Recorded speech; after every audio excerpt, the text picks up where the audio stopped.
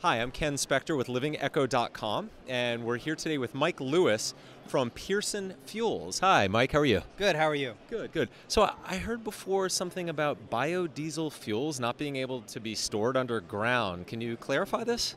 Yeah, I can tell you.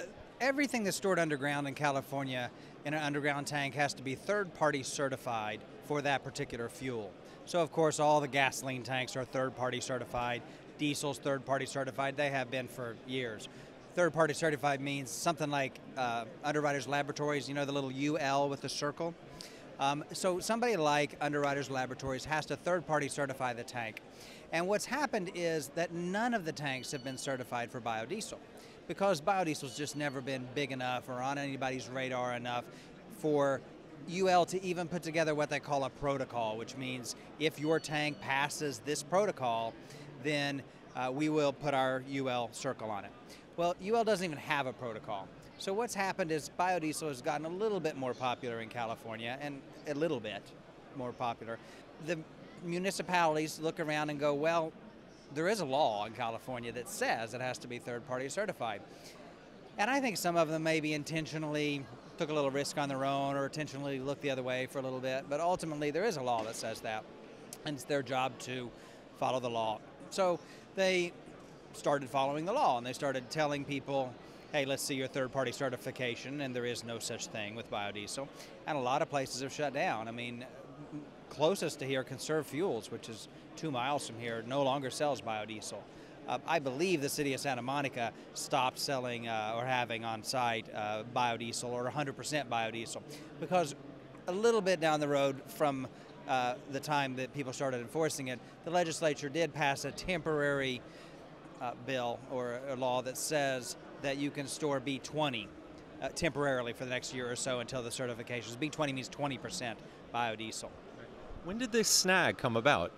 Uh, I probably started getting some visibility about a year and a half ago. So, you know, and I guess that's what happens is that for decades, California has had very stringent regulations, environmental regulations, and, and no, not a lot of people can argue with that, but a lot of those have been directed towards the fuel industry. Now, when you come along with a new fuel, you're in the fuel industry. You know, you'd like to say, get out of jail, hey, it's biodiesel, it's a different thing. Well, it's a biodiesel, it's a fuel. So these regulations apply to biodiesel. So what you've got, the irony of all of this, is that you have environmental regulations that are uh, requiring some people to take out 100% biodiesel out of their tank and they can put regular diesel in perfectly fine legally.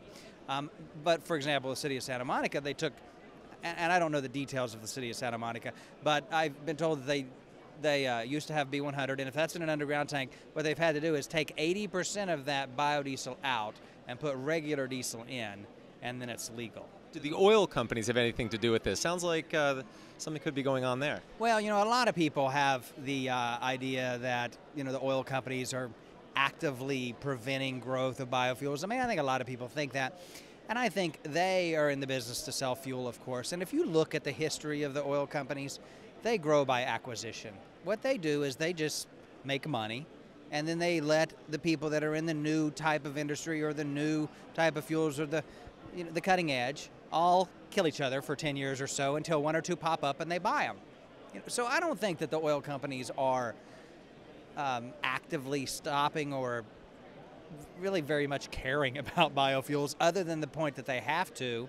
And I think ultimately that uh, they will see it as another fuel one day. I mean, BP, you know, used to be British Petroleum, and now it's BP, you know, and it's in solar and all kinds of different things. So we used to call them oil companies, now we call them energy companies.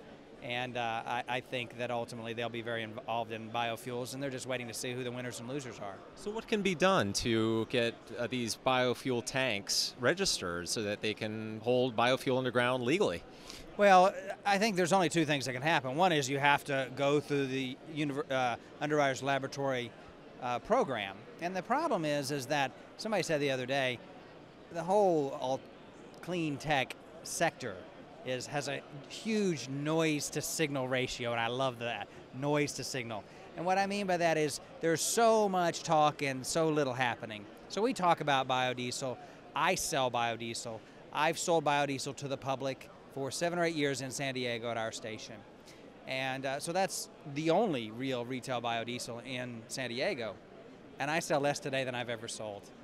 So that's the signal is right there. So the point is, is that you have to put together enough of a business interest to go through the uh, underwriters laboratory process, get them to even develop a protocol because you cannot solve it in the near term now because they don't even have a protocol. The only other way to address it would be through legislation, which is what they did with the B20. And interestingly, um, th- there were some prominent environmental groups that pushed very hard to not let them do an exemption for biodiesel because it's a fuel, it's underground. Even biodiesel has a tiny fraction percentage of other chemicals.